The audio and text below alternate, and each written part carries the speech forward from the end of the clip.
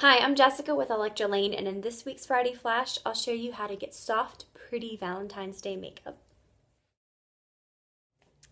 Happy Friday and welcome back. So, Valentine's Day is just around the corner and it is one of my most favorite holidays. I look forward to it all year. I even decorate my house for it. And um, my husband and I have a fun tradition of ordering pizza, cracking open a bottle of cheap champagne, and snuggling up on the couch with our two beagles, Clark and Kent, to watch a fun movie. So, no matter what type of love you're celebrating or how you're celebrating, if you're celebrating at all, which I think you should because even even if it's just a love yourself day it's a day to celebrate love and all the wonderful things you know we have in our lives that we love. Um, so you can celebrate makeup if you want and maybe even a nice soft makeup look that like a good relationship is very unfussy and not overthought and it's just simple and clean but it really makes an impact and i love it. So stay tuned for that. But also i would like to mention this hair I'm not normally a crazy hair person, but I saw this on the beauty department's website. I'll link it below. And if you're looking for a nice romantic hairdo, this is a great one to try because I am hair challenged, but even I could do this. And it's actually staying in, like it's not falling out all over the place. So happy Valentine's Day, happy Friday, have a great weekend, and I'll see you next time. So to start, I'm going to be using this NARSissist Blush Contour and Lip Palette and I love this it because it's everything you need. I'm going to be using this lip color. This is um, Istria, I believe. It came with a kit. I'm going to be using this, which is Enthralled Blush. I'm going to be using this, which is the Roman Holiday Blush. And then this flips down, and I have my Albatross highlighter and my um, Laguna bronzer. So that's all pretty much we're going to be using on the face. So to start out, I'm going to take this MAC I think 239. It's just a paddle brush, and we're going in with the Enthralled Blush. It's a little sparkly, not too much, but just a little. And I'm going to tap it on the lid.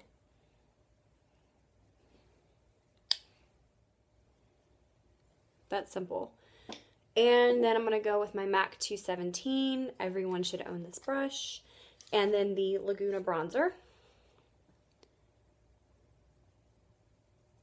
And just blend back and forth in the crease. And I also, I prepped my um, eyes with a little concealer and translucent powder before I started. So that's it, your eye makeup's done. Yay. Um, you don't have to use eyeliner for this, but I, I think it really does help. So I'm taking a flat brush. This is the Laura Mercier flat eyeliner brush, but you can get this in a craft store even. And this is my MAC Smolder eyeliner. It's just any black eyeliner you want. And I'm going to go in and push right at the base of my lashes. And really, like, the kind of the, the way I do this at least, is I kind of start at the base of my lashes and push into the actual root where it touches my skin on my eyelid. And that really locks it in place. You can also tightline, which is to kind of go underneath here and do this part. The way my eyelashes are and my eyes are shaped, that makes absolutely no difference at all. So I do it this way on top. So there you go, and you can use liquid or gel or whatever kind of eyeliner you want. Where I already did my brows and my skin um, in terms of foundation, but now we're going to go in with the Laguna bronzer, and this is my MAC 168 maybe brush. It's just a nice angled brush, which I like for bronzer because it kind of does all the work for you. I'm just going under my cheekbones just to warm up the skin. Again, this is a really unfussy look. Um, but we don't want our skin to be flat. So I'm just kind of going in and layering as much as I think I need. I'm gonna go, I'm gonna go around and do a bit of light sort of contouring, if you will. You do not have to do this step. You know, if you want to do the just the cheeks, that's fine, but I think going kind of around your face gives everything a really polished look and, and really ties everything in together. So really, really subtle. And now I'm going to go back in with the Roman Holiday Blush, which is a really bright pink. But we're going to apply it just really lightly to the apples of our cheeks and blend it back into the bronzer. This is barely detectable. I'm using such a light hand with this. Um, and another reason why I really like this makeup look. You know, another step that you don't have to do, but I think it just makes the whole face look so nice, is I'm taking my um, Makeup Forever Lift Concealer in number three, and I'm going to warm it up between my fingers, and I'm just going to go right on top of my cheekbones to brighten up this whole area.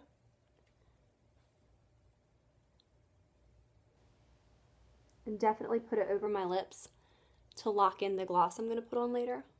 A lot of people use powder for this instead of a cream or liquid product, but I have such dry skin that the, the liquid really, really works well for me and um, it just makes me happy. I think, I feel like my whole look comes together when I do this. And now I'm taking a little bit of the, see, Laura Mercier Secret Brightening Powder and the Wayne Goss number two brush.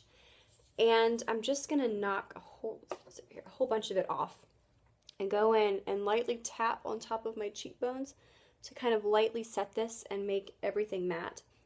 Um, this is the one powder that when applied really lightly um, to set, it doesn't get all cakey um, in this area. Now this is a part that I think is absolutely essential to this look. I'm taking this Albatross highlighter and my Wayne Goss number 14 brush and I love this part so much. I'm just going on the very tops of my cheekbones. So you're want to feel where your cheekbones are. Okay, mine are right here. And then sort of on the top, so like the light is coming down and hitting you right here. And then I also like to go just above my eyebrow. And we're kind of making this nice C right here. Although you don't have to actually hit this part. I just kind of like to hit here and hit here. If there's any left over, I kind of go right under the brow. But that's it. You don't really want to add a lot of sparkle here. That's very um, like 90s prom. So one tip I really have is to stay kind of right here. You don't really want to go in this area because that's where you can tend to look very shiny. Yay. And then the one other thing I like to do is take some of this highlighter and pop it just in the inner corners of the eye. Now, lashes. Really super important to curl your eyelashes here. This was the Billy B eyelash curler. It's my favorite so far that I've tried. This is the NARS Audacious Mascara. Top and bottom. So last but not least, um, lips. I'm going to do Subculture by MAC and this lip gloss I talked about in the beginning. And this is going to be really subtle just like everything else. I really like to line the lips here because we're not using a lipstick. So the mixture of the concealer on the lips and the lip pencil is going to give your lips some shape and help the gloss stay on a lot longer. So the last step is to take um, some setting spray. I'm using my Caudalie Beauty Elixir and just gently setting the makeup. I like this one because it, it makes my skin look a little more dewy than my usual Urban Decay All Nighter. So I'm going to go fix all of this and I'll be back to show you how it all comes together.